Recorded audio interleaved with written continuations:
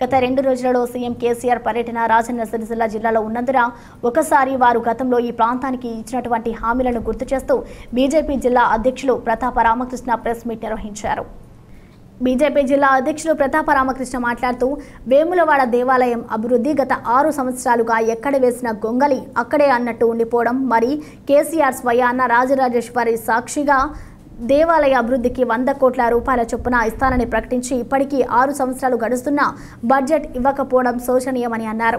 కేటీఆర్ పర్యటన లేదంటే సీఎం పర్యటన కానీ ఉన్నప్పుడల్లా బీజేపీ నాయకులను అక్రమంగా అరెస్ట్ చేయడం పూర్తిగా ఖండిస్తున్నామని అన్నారు.